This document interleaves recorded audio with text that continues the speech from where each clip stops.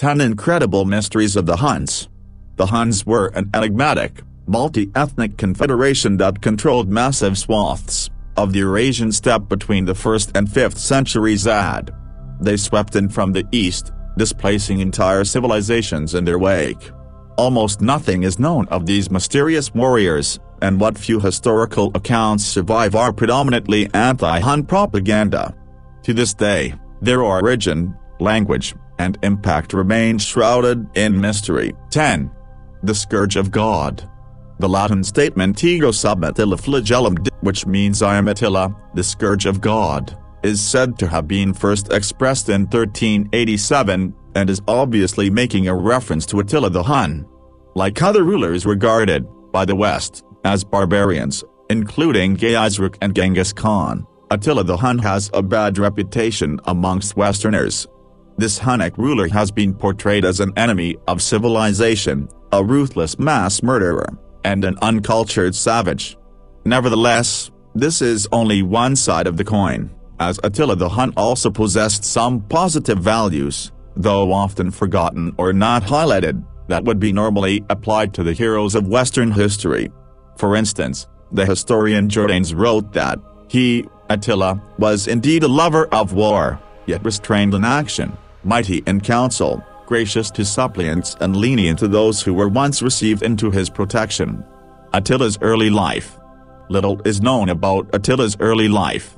Although the exact date of his birth is unknown, it is possible that Attila was born sometime in the early 5th century AD.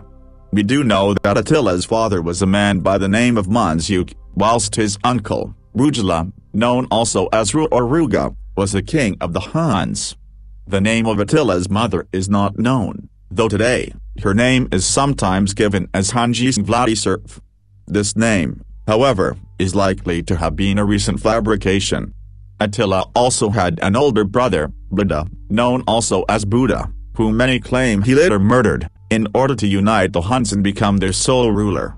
As young men, Attila and Buddha were probably taught archery, horse riding, and the art of war to prepare them, for their future role as leaders of the Huns. Additionally, it has been said that Attila and his brother were also taught Latin and Gothic so that they could do business with the Romans and the Goths. Was Attila a family man? Rugila died whilst on a campaign against Constantinople in 433 AD, and the leadership of the Huns passed to Attila and Bleda, who ruled jointly. Bleda, however, disappears from history following the war against the Byzantines along the Danube.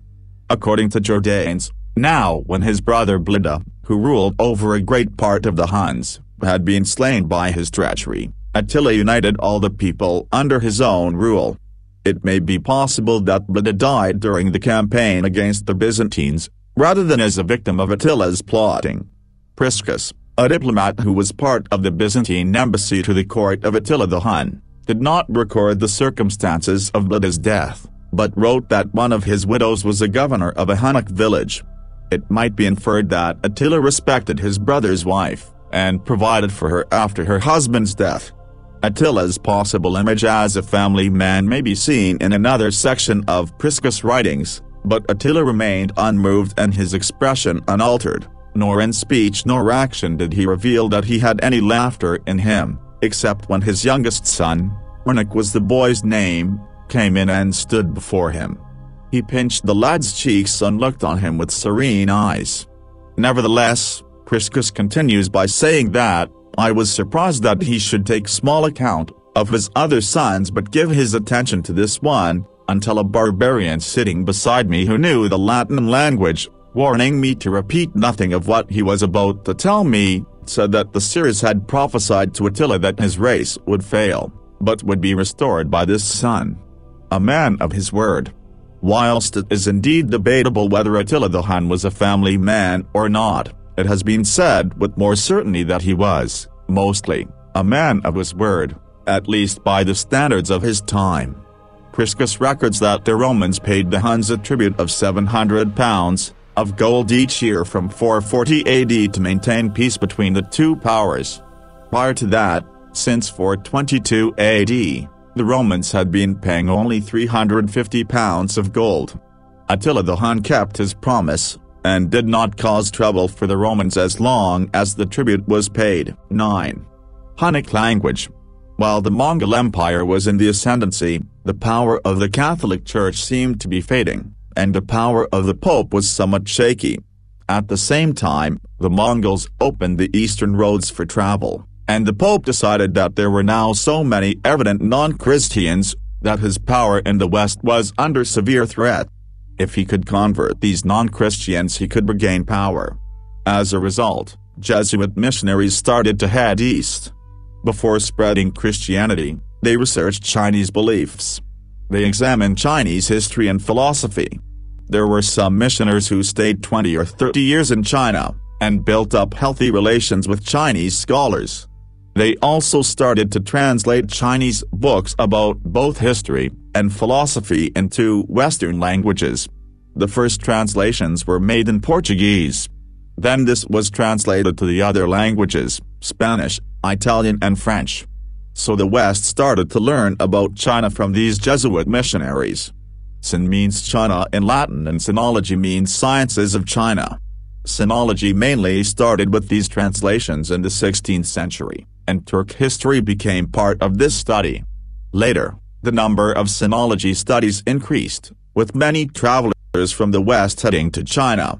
The book written by De Guignes in the 18th century is accepted as one of the important collected studies about Turkish history.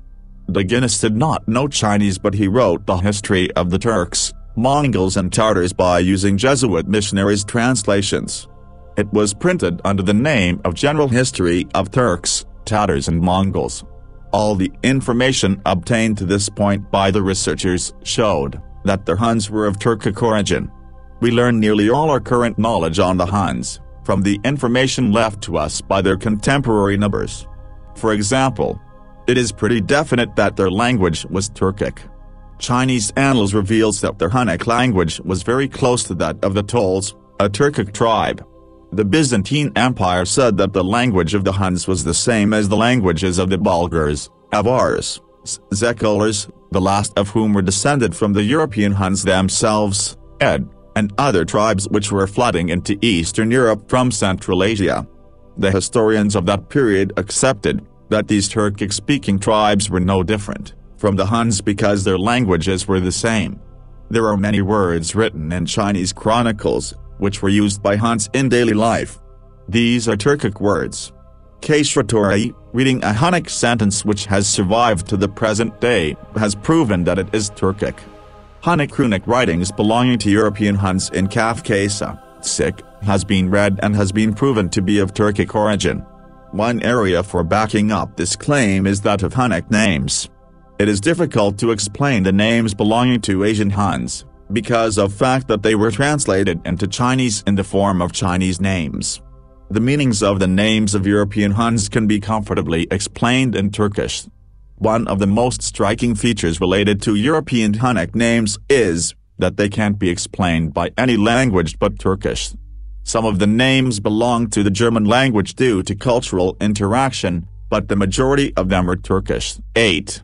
Xiongnu. Between approximately 300 BC and 450 AD, there existed a nomadic group known as the Xiongnu. Their ethnic identity has been greatly contested, but they were a very powerful tribal confederation that were considered a great threat to China. In fact, it was their repeated invasions that prompted the small kingdoms of North China to begin erecting barriers in what later became the Great Wall of China. The Xiongnu formed their tribal league in the area that is now known as Mongolia. It is believed that they stemmed from the Siberian branch of the Mongolian race, although it has been hotly debated whether they are ethnically Turkic, Mongolic, Yeniseian, Tocharian, Iranian, Uralic, or some mixture. Some say the name Xiongnu has the same etymological origin as Hun, but this is also controversial. Only a few words from their culture, mostly titles and individual names, were preserved in Chinese sources. It is believed that the Xiongnu created their empire under the supreme leadership of Ma Yu sometime around 209 BC. This political unification allowed them to build stronger armies and use better strategic coordination, turning them into a more formidable state. They adopted many Chinese agriculture techniques, built Chinese-styled homes, and wore silk like the Chinese. The Xiongnu worshipped the sun, moon, heaven, earth, as well as their ancestors. They formed a number of tribes, called the Chubai, Huayan, Lan, Luandi, Kailan, and Subu. The Xiongnu had an established hierarchy system. The leaders following Madu Chanyu formed a dualistic political system, with branches to the right and left. The supreme ruler was known as the Chanyu and was equivalent to the Chinese Son of Heaven. Under the Chanyu were the wise kings of the left and right.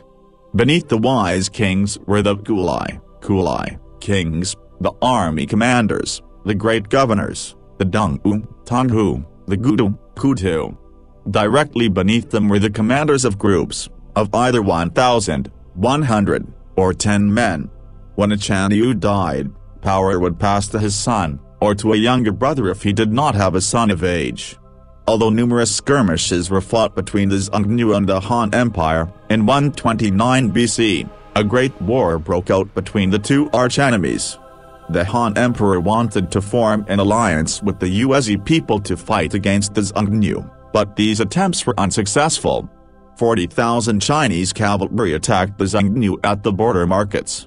The war was difficult for the Han due to difficulties transporting food and supplies over long distances, and there was low availability of the fuel they needed to survive the harsh Xiongnu climate.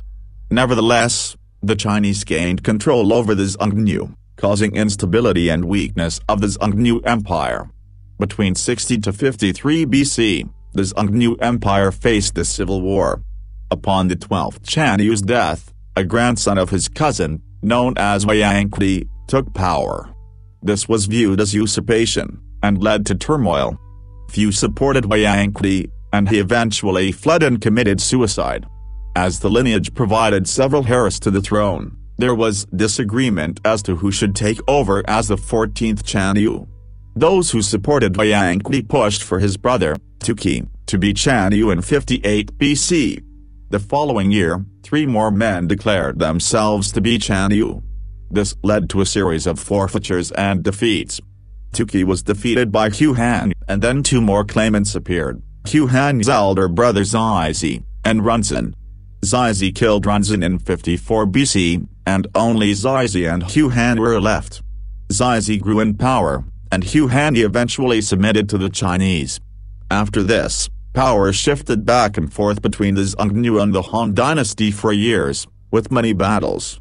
After the Battle of Aqbai in 89 AD, the northern Xiongnu were driven out of Mongolia, and the southern Xiongnu became part of Han China. Some believe that the northern Xiongnu continued west, came under the leadership of Attila, and took on the new name the Huns. The unique culture of the Xiongnu Empire was very powerful during its time.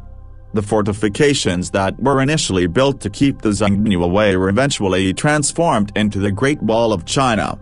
This demonstrates the size and power of the Xiongnu, an ancient nomadic group that played an important role in the history of Mongolia and China. 7.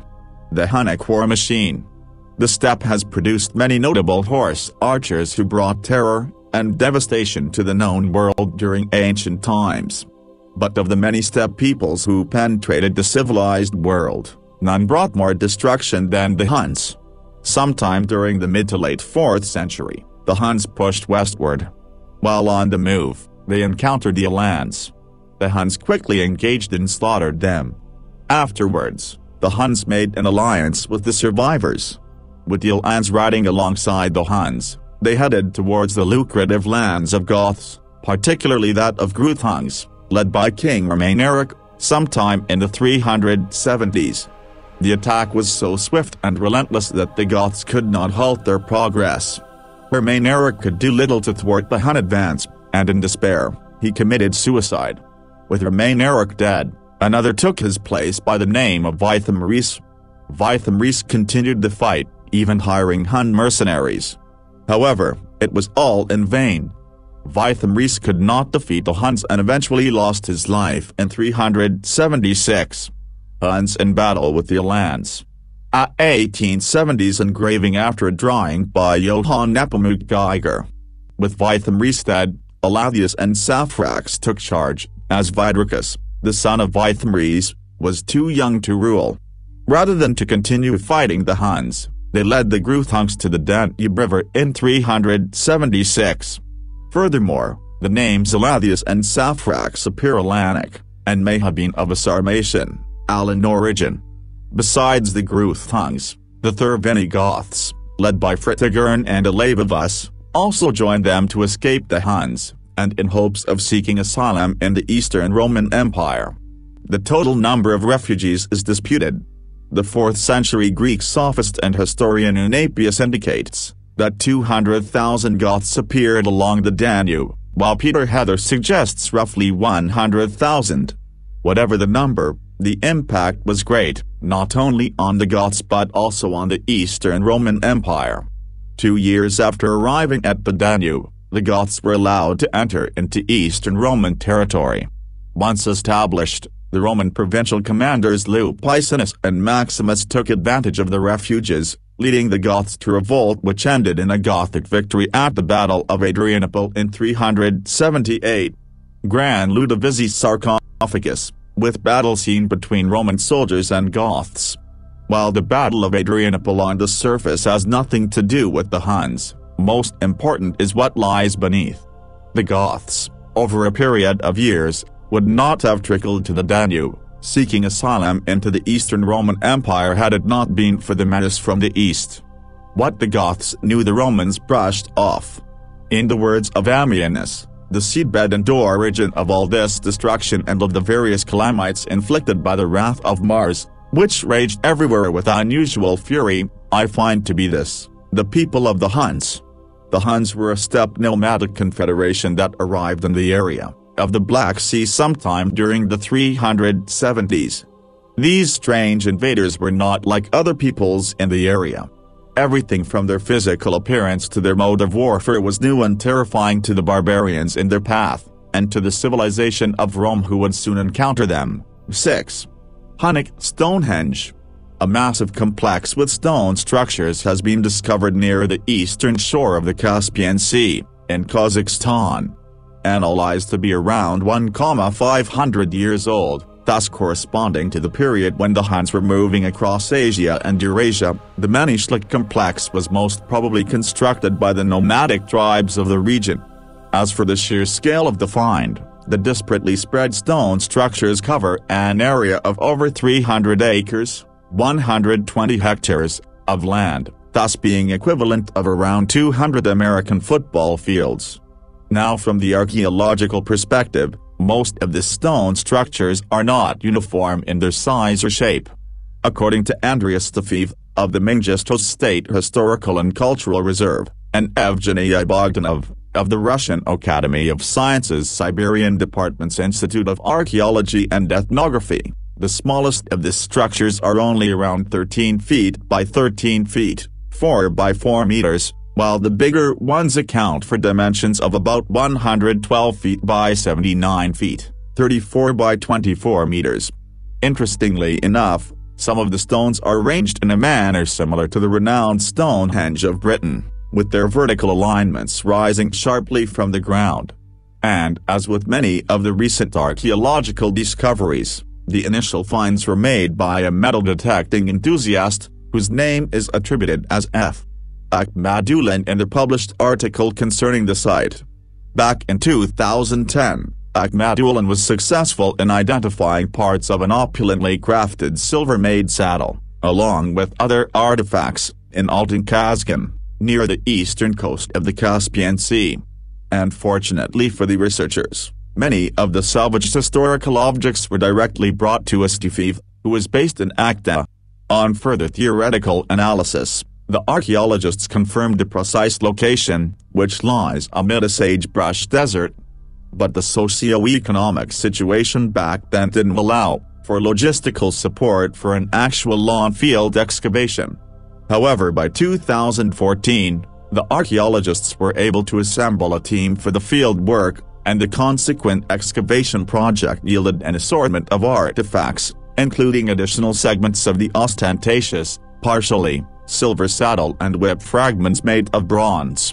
The saddle in question, beyond its preciousness, also showcases the impressive craftsmanship of the ancient folks dwelling in the region, with detailed images of deer, boars and possibly lions. This brings us to the question, who exactly were the builders and craftsmen of this massive complex situated within a desert? The researchers wrote dash certain features of the construction and formal details of the stone enclosures at Altyn Kazgan allow us to assume that they had been left there by nomad tribes. Now it should be noted that during the same time period, the Huns were expanding across Asia and Eurasia, and their advancing momentum in turn fueled a bevy of many migrations across the Eurasian steppes. Furthermore, from the historical perspective, the Huns in themselves were not of singular ethnicity, but rather pertained to a super-tribe of sorts, composed of various sub-tribes from the steppes, and later even continental Europe. In any case, on a more micro level, the archaeologists assessed the saddle to be the property of a wealthy elite. To that end, other than just its silver bearing, the opulent object depicts symbols called tamgas, which were historically associated with people of privileged status. As for the actual purpose of this saddle being housed within the complex, placed on a stone structure, the researchers have hypothesized that it might have been associated with a ritual or was just a burial item.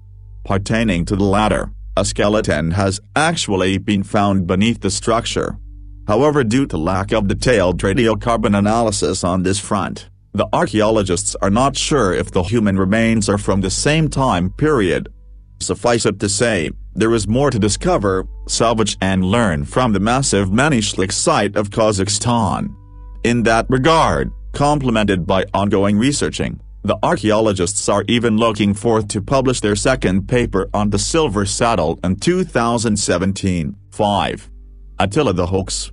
An announcement was made that construction workers building the foundations of a new bridge over the Danube River in Budapest, Hungary, had uncovered an ancient burial chamber with researchers claiming that it belonged to the infamous Attila the Hun, one of the most feared enemies of the Western and Eastern Roman empires in the 5th century AD. Word of the discovery quickly spread around the internet, however, it now appears that the story was nothing more than a hoax. The so-called burial chamber, which historian Albrecht Rumstein, from the Loránd University in Budapest described as absolutely incredible, was said to contain human remains, many horse skeletons, a large sword made of meteoric iron, pottery, jewelry, and other weapons and grave goods traditionally associated with the Huns, all pointing to the tomb being the resting place of a great Hunnic leader. The historian was reported as saying, this definitely seems to be the resting place of the almighty Attila, but further analysis needs to be done to confirm it. However, it appears that there is no Albrecht Rumstein from the Loránd Eötvös University, and the whole account was a dismal attempt to gain publicity. Evidence comes from the image the originating source published. Far from being the remains of Attila, this mummy originates from the Ming dynasty in China. The a group of Eurasian nomads, appearing from east of the Volga, who migrated into Europe around 370 AD, and built up an enormous empire there. They were highly skilled at mounted archery, as depicted in the featured image. It is suggested that they were the descendants of the Xiongnu, who had been northern neighbors of China 300 years before. Attila was ruler of the Huns, 434 to 453 AD, and leader of the Hunnic Empire, which stretched from the Ural River to the Rhine River, and from the Danube River to the Baltic Sea. Attila led many military raids on both the Eastern and Western Roman empires provoking what has become known as the barbarian invasions, a large movement of Germanic populations that greatly accelerated the fall of Rome. He is considered by most Hungarians as the founder of the country. According to ancient records, Attila died in his palace across the Danube after a feast celebrating his marriage to a beautiful young Gothic princess named Ildiko. Legend says that his men diverted a section of a river, buried the coffin under the riverbed, and were then killed to keep the exact location a secret. It would have been a fantastic finding if Attila the Hun really had been found. The discovery of his funerary site could bring many clarifications concerning the origins, and identity of the Hunnic people and of Attila himself, which have both been sources of debate for centuries. Sadly, the originating website have used this desire for knowledge to mislead and misinform people. Slight problem, there is no Albrecht Rumstein, and the remains belong to Chinese Mingyur mummy. The story was a promotional stunt by fake news site World News Daily Report. Ancient accounts indicate that Attila died on the night of his wedding to Gothic princess Ildiko. According to legend, his men diverted a river and buried Attila in the riverbed. The workers were then slaughtered to keep the grave's location a mystery. 4. Deep Native American Connections Recently at a conference, I was talking to some folks about DNA and the migration of tribes based on haplotypes. A question came up, what about the Huns? I had to answer that I had never looked into the Huns. That night I started looking for evidence that the Huns left a genetic footprint. I usually take the DNA of an individual and work backwards to find their origins. In this case, I started with the origins and tracked forward in time. The Huns were a nomadic tribe of people that arrived from Eastern Asia around 150 AD. They built a European empire that lasted until 469 AD. The height of the empire was under the reign of Attila. The Huns were not a homogeneous group. They integrated those that they conquered. The Alani and the Ostrogoths were a few of the assimilated groups. Their DNA would have been Eastern European, perhaps R1A, G2A, I1 or I2 and a minority proportion, but the core and the majority of the Huns, based on historical reference, would have been East Asian. By the end of the Hunnic Empire, the Huns had spent over 300 years, 12 generations, in Europe. Unlike the later Mongol invaders, the Huns had no Asian home to return to. They, in turn, were assimilated into the cultures they once ruled and left descendants across Europe. Most likely the Huns were from Eastern Asian origins. That limited them to haplogroups C-Mongol, D-Tibetan, N-Han-Finn, O-Manchurian and Q-Altaic. The ethnic descriptions that I'm using are overly simplistic, just enough to give you a feel for the possible cultures present. I surveyed DNA record sources for Russia and Europe, looking specifically for those haplogroups. Groups D and O were isolated individuals, easily attributed to Silk Road travelers who settled in Europe. Group C was predominantly C3 and related to the later Mongol invasion. N was either heavily Finnic or a few isolated Siberian individuals. Q was a different story completely. Haplogroup Q has origins in Siberia, most likely north of the Altai Mountains. Q is also the origin of the Native Americans. The majority of the Native America haplogroup is Q1A3A. What I found was a significant Q1b and Q1A2 population in Eastern Europe. When I mapped the Q1b genetic footprint using Tribe Mapper they fall exactly north of the Danube River and east of the Rhine. This corresponds to the territory of the Hunnic Empire. The Q1A2 group maps to Hungary, the royal seat of the empire. These Q1b and Q1A2 are close-knit tribes each with common ancestry within the last 2,100 years. The timing of their common ancestry and their geographic footprint make a strong argument that these two Q groups were the genetic core of the Hun invaders. A few caveats. Not every European in haplogroup Q is a Hun. There is a population of Q1A3A, a closer relation to Native Americans, living in Sweden that doesn't correlate. Not every Hun is a Q, there are bound to be some other groups mixed in like the isolated and individuals, as well as the folks the Huns picked up along the way. When we think of the Huns, probably the first person who comes to mind is Attila.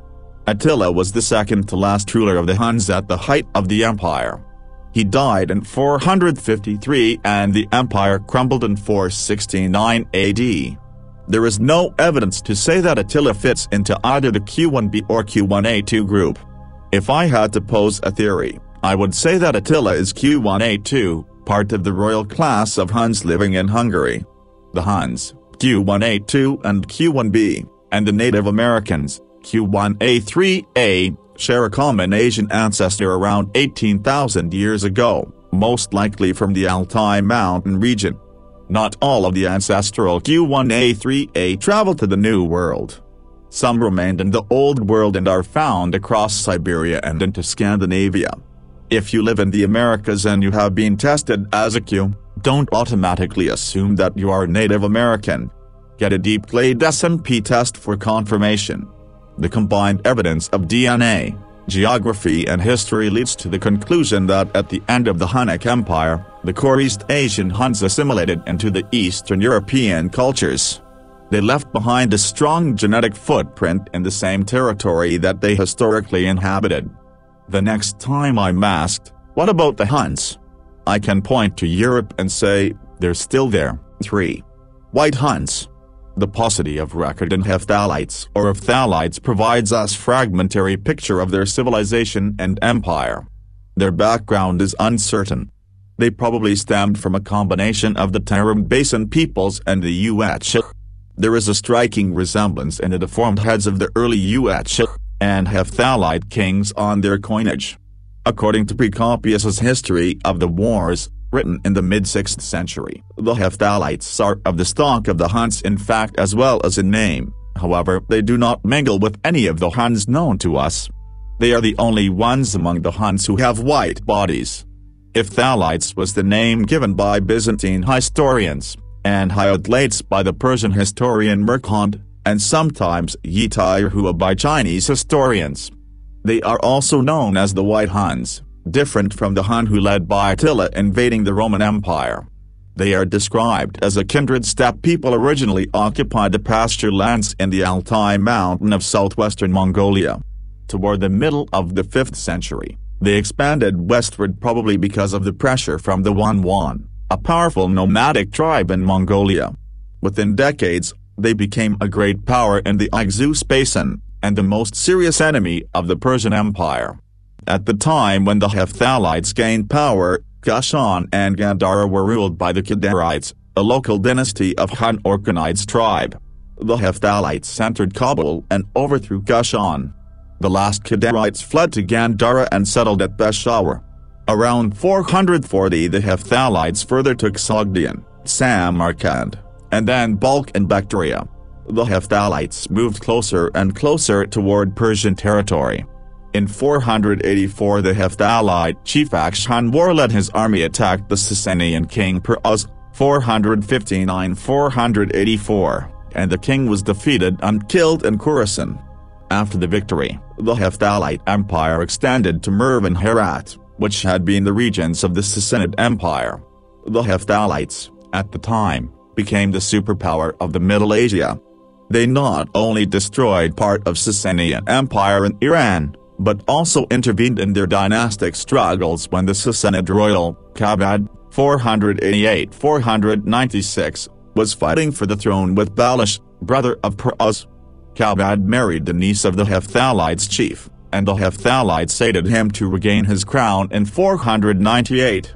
After conquest of Sogdia and Kashan, the Hephthalites founded the capital, Panjikent. 65 kilometers southwest of Samarkand in the Zarafshan Valley. This city later reached its prosperity, produced one of the best mural paintings in the 7th century, and later was destroyed by the Arabs. The Hephthalites chose Badakhshan as their summer residence. Their chiefs lived north of the Hindu Kush, migrating seasonally from Bactria, where they spent the winter, to Badakhshan, their summer residence. Under the Hephthalite control, the Bactrian script and language continued to be used, and trade and commerce flourished as previously. With the stabilization at the western border, the Hephthalites extended their influence to the northwest into the Tarim Basin. From 493 to 556 AD, they invaded Khotan, Kashgar, Kacho, and Karashahr.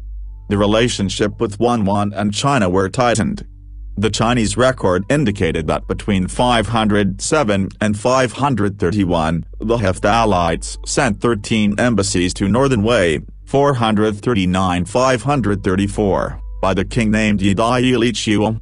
During the 5th century, the Gupta dynasty in India reigned in the Ganges basin, with the Kushan Empire occupied the area along the Indus.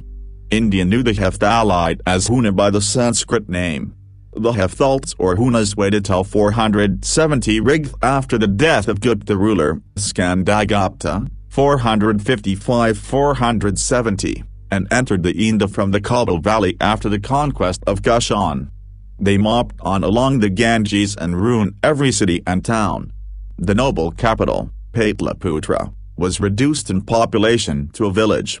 They persecuted Buddhists and burned all the monasteries. Their conquest was accomplished with extreme ferocity and the Gupta regime, 414-470, was completely extinguished. For 30 years the northwestern India was ruled by Hephthalite kings. We learned some of the Hephthalite kings ruling India from coins. The most famous ones were Toramana and Mihirakula ruling India in the first half of the 6th century. There are numerous debates about Hephthalite language, most scholars believe it is Iranian for the Peishi states, that the language of the Hephthalites differs from those of the Wanwan, Mongoloid, and of the various Hu, Turkic. However there are some think the Hephthalites spoke Mongol tongues like the Xianbei, 3rd century, and the Wanwan, 5th century, and the Avars, 6th 9th century. According to the Buddhist pilgrims Song Yun and Hui Sheng, who visited them in 520, they had no script, and the Liang Shu specifically states that they have no letters but use tally sticks. At the same time there is numismatic and epigraphic evidence to show that a debased form of the Greek alphabet was used by the Hephthalites. Since the Kushan was conquered by Hephthalites, it is possible they retained many aspects of Kushan culture, including the adoption of the Greek alphabet it is equally inconsistent while comparing the references to the Hephthalites' religion. Although Song Yun and Hui Sheng reported that the Hephthalites do not believe in Buddhism, though there is ample archaeological evidence that this religion was practiced in territories under Hephthalite control. According to Liang Shu the Hephthalites worshipped heaven and also fire, a clear reference to Zoroastrianism. However the burials found seem to indicate the normal practice in disposing of the dead which is against Zoroastrian belief. Very little was known about these Hephthalite nomads. Little art has left from them. According to Song Yun, and Hui Sheng who visited their Hephthalite chief at his summer residence in Badakhshan and later in Gandhara, the Hephthalites have no cities, but roam freely and live in tents. They do not live in towns, their seat of government is a moving camp. They move in search of water and pasture, journeying in summer to cool places and in winter to warmer ones. They have no belief in the Buddhist law, and they serve a great number of divinities. Other than the deformation of skulls, the other interesting feature of the Hephthalites is their polyandrous society. The records of brothers marrying to one wife had been reported from Chinese source. Between 557 to 561, Persian king Chosroes allied with another steppe people who had appeared from Inner Asia. Khosroes wanted to profit from the situation to take revenge over the defeat of his grandfather Peruz. He married a daughter of the nomadic chief and allied himself with them against the Hephthalites. The chief Sanjibu was the boldest and strongest of all the tribes, and he had the largest number of troops. It was he who conquered the Hephthalites and killed their king mercilessly attacked on two sides. The Hephthalites were completely broken and disappeared by 565, that only small number of them survived. Some surviving groups living south of Oxus escaped Chosroes' grasp plate or fell to Arab invaders in the 7th century. One of the surviving groups fled to the west and may have been the ancestors of the later Avars in the Danube region. The decline of the Hephthalites marked the turning point in the story of the steppes. Another era was opening in Central Asia. For the allies of Chosroes were Western Turks, a new power was to dominate the steppe for next few centuries, too. Hungary and the Huns. Every second summer, the outskirts of the village of Bugac resound to beating drums, whip cracks, traditional Turkic music and the rumble of galloping hooves as people, and horses gather in the dusty steppe of central Hungary. Many come clad as if ready for medieval battle, in leather and metal armor and wielding swords and shields, while others carry banners and strike resonant metal singing bowls that bear strange runic symbols. They are here for Kurultaj, billed as a tribal assembly of the Hun Turkic nations, a celebration of the preservation of their ancient traditions, which last weekend drew more than 250,000 people from as far apart as the Balkans, the Caucasus and Central Asia. Groups representing some 27 nations reenacted battles, and performed displays of everything from horsemanship, hand-to-hand -hand combat and archery, to folk singing, dancing and shamanic fire and drumming rituals. A bare earth arena, where the mock fights and high-speed horseback shows took place, was flanked by the bright flags of all nations present and yurts, stages and stalls, all presided over by huge portraits of a glowering Attila the Hun. We've been here several times and it's a great event, said Petr Vladov, a Bulgarian in a purple, red and gold tunic, whose sword-carrying friend wore an animal skin draped over his head and bare torso. Rain and Fazana, two ethnic Uzbeks from Germany, wandered through the throng with their three young children, who wore leather jerkins trimmed with fur and carried small bows slung over their shoulders. We've been to Kurultaj before as well, said Rain. Our husbands are demonstrating how ancient Turkic tribes used to fight. The vast majority of visitors were Hungarians however, and Kurultaj is inspired by a theory that their ancestors, the Magyar, originated in Central Asia and have deep historical, cultural or even genetic links to other nations from that region. In the 16th and 17th centuries, Hungarian Protestants living under Ottoman rule in Transylvania enjoyed great religious freedom, in stark contrast to the persecution suffered by their co-believers in Habsburg lands. After Hungary fought for independence from the Habsburgs in 1848-9, several senior revolutionaries and their soldiers found refuge in the Ottoman Empire, during the 1912–13 Balkan Wars some Ottoman troops fled to Hungary, and in the subsequent First World War the Ottomans and Austria-Hungary were allies. Belief in a lost but glorious Eastern past, and hostility to Israel and to liberal US and European powers which it sees as Hungary's perpetual oppressors, even wove a surprising pro-Muslim thread through Hungary's far-right Jobbik party. That thread snapped with Europe's refugee crisis last year, which saw Jobbik follow the hardline anti-immigration policy of Hungary's populist Prime Minister Viktor Orban. While calling refugees and migrants from the Islamic world a threat to Europe's security and identity, however, Orban is still pursuing an economic Eastern opening to boost Hungary's trade with the Middle East and other regions and while sponsoring lurid billboards and radio announcements warning of the dangers posed by the mostly Muslim asylum seekers, Orban's government also funds Kurultaj alongside Muslim states like Turkey and Azerbaijan. Kurultaj is about a time before Christianity and Islam, when the Huns and the Turkic peoples were pagan brothers, said Szabolcs Molnar from near Budapest, who wore a traditional Hungarian embroidered shirt baggy black trousers and a fur-trimmed felt hat. Now, in this time of trouble, it's good to remember where we all come from, and the ancient things we have in common. 1. Amatkar collar. In December 2014, the Kyrgyzstan Ministry of Culture announced that a 5th century Hunnic gold collar recently sold by Sotheby's had been taken from the country illegally. On December 3, the Amatkar collar sold for a staggering $380,215.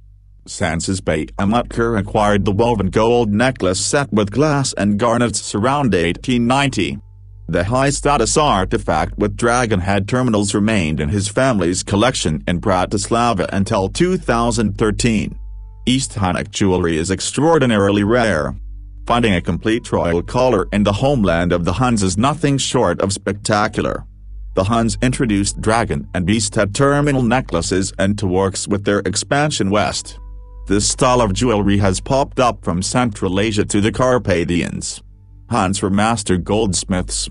However, they relied on imported, pre-cut stones like the ones in the Amatkar collar. It is unknown whether the piece was intended for a man or a woman.